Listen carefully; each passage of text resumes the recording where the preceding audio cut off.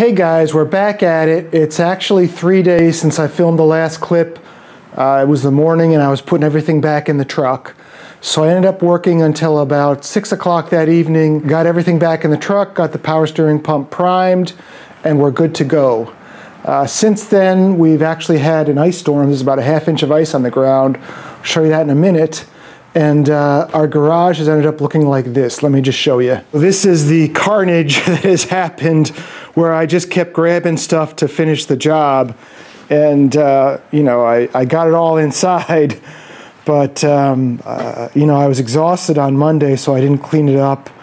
And then after that, I think I'm just, uh, I think I'm just trying to find the, the motivation to clean it up.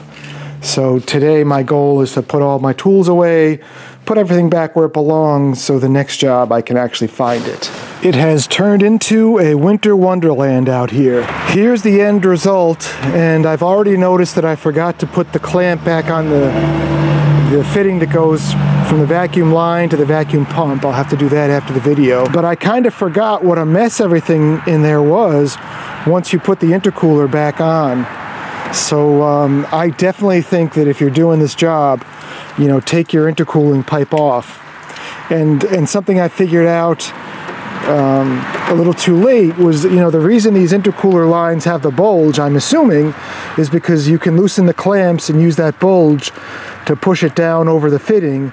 So when I was struggling with this in the beginning, um, what I should have really done is uh, just loosen these clamps up a lot push this intercooler piping down and then I could have left the air horn on. Uh, for me it was perfectly fine. It gave me a chance to clean up the bolts on the air horn and there's one fitting back there if I can get to it. Um, there's one electrical fitting that the mice had chewed back over here. Uh, I believe it's the one closer to the motor that I got a new boot for. Uh, wasn't a big deal at all, you know. They sell these boots for studs. I just put some silicone on it, slid it on the old one, and um, there was a little bit of a struggle to get it over the the round point of the terminal connector, but uh, it, it, just looks so much better to have that boot on there now. Uh, and then I put way too much silicone on there just to keep things pliable.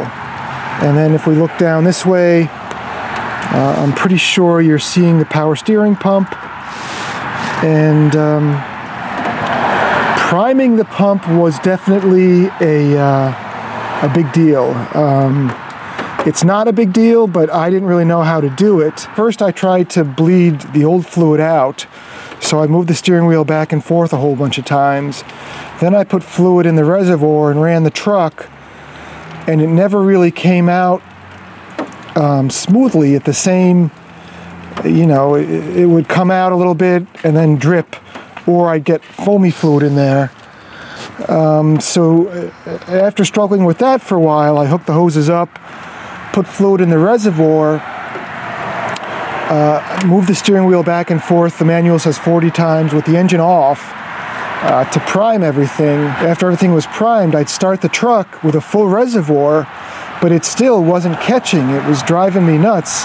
You know, I tried this probably three or four times. Uh, and the secret, which, which, you know, experience only teaches, is to prime the system. You need to have the truck running and be putting fluid in. I guess the, you know, however much is in the system is more than, than's in the reservoir. So once I started the truck and, and poured fluid, as the truck was running, just idling, uh, it, it, immediately took the fluid in and, and, has run fine ever since. Only other thing I'll say is, you know, I did overfill the reservoir several times during the process. I wanted to get the old fluid out, uh, but it was it was quite a messy quite a messy process to say the least. I spent, you know, more time than I should have because uh, I didn't really know how to do it. It was frustrating, but now I know for the rest of my life, so we're good. And then the last thing I'll show you guys is um, the vacuum. Over here on your truck, there's probably some vacuum lines that are, you know, falling apart. There's there's vacuum lines, but what, what Dodge used to connect these was uh, really soft fittings that were basically degrading. So I went to the auto parts store and I was asking them about getting some vacuum lines, uh, vacuum line connectors, and they didn't have anything. But eventually the, the guy at the auto parts store said, well, you know, what a lot of people will use is windshield washer fluid or vacuum uh, tubing to connect. So he just gave me a six inch piece of vacuum line or, or windshield washer tubing, and that was all I needed to connect. There's a thicker, a thicker diameter here and a thinner diameter here, and that's all I needed to connect these, these two. So for like under two bucks, that was taken care of. There was no need for some crazy kit and the, the fittings have barbs on them. I was thinking of putting some kind of a zip tie on them or something, but you know, they're so tight, you, you just don't need one. That's pretty much where we are, guys. I mean, we got her done, and, and uh, I just want to show you how nice my intercooler tube looks. Yes, it is barbecue paint, but there's no rust on it. Um, it's functional. I know uh, this video is going to end up being a ridiculously long video, and if you watch the entire video, uh, start to finish, you know, let me know and I'll give you a big heart in the in the description. But um, I learned so much, uh, you know, doing this project and um, about how my my truck works. I learned a lot about you know finding solutions for problems and, and I learned a lot about you know what I'm capable of. So I, you know, I look forward, I reluctantly look forward to some more projects because I know with a truck this age, uh, whenever you get into something, there, there's always more. There's always other stuff you find, and I, I'm looking forward to that because it's my truck. So if I find it, I can take the time to fix it and and make everything work well. So um, I think we're going to wrap it up there, guys. Uh, the next thing I need to do on this guy is my um,